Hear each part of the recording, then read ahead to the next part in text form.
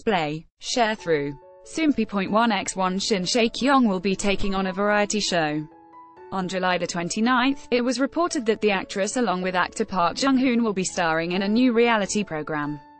Soompi. Display, News. English .300x250, BTF Soompi. Mobile.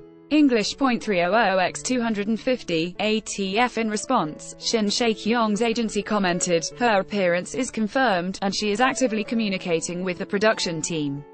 The title and details of the show have not been revealed yet. Shin Se Kyung's agency explained, We cannot yet share what the program is about. We ask for your understanding.